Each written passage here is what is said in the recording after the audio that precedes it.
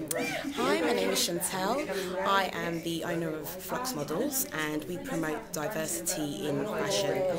Um, I came here today. I didn't expect Placida to be here today. I just knew that there was going to be loads of fantastic women talking, so I'm pleasantly surprised to have Placida here today.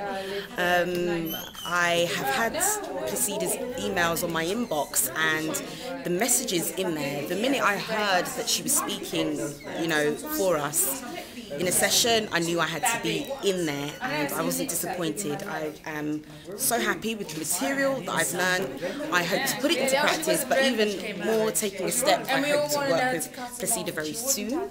And um, yes, just fabulous women I love to connect with, so definitely I'm happy I came. Oh, thank you.